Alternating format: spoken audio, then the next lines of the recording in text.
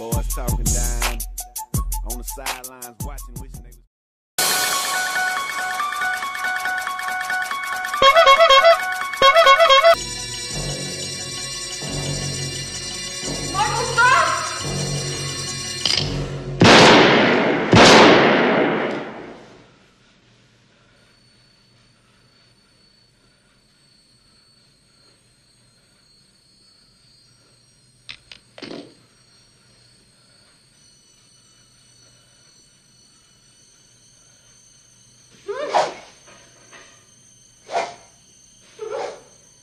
Any minute now.